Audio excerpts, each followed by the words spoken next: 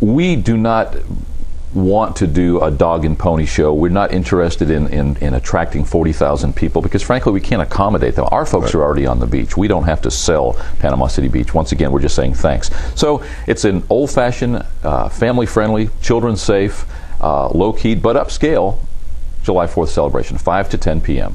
Short and sweet. It's a hot day.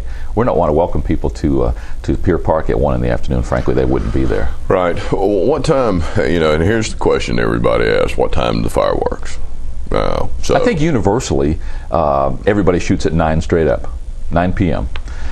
Uh, we're going to kick off at 5. 5 p.m. We're going to have a couple of bands in the course of the day from 5 to 10. But at 5:15, in a partnership this year for the first time with Tyndall Air Force Base in a very strong way, we're going to enjoy Tyndall Air Force Base's honor detail, honor guard.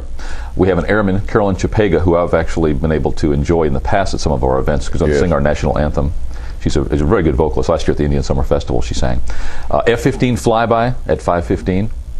Um, and I, I'd be remiss if I didn't uh, thank publicly Dave Jackson and all the people at the DIB, downtown Panama City, for working with us and helping to coordinate that. Dave, being ex Navy, um, uh, certainly works very closely with the Tyndall people, and so he helped to make that happen.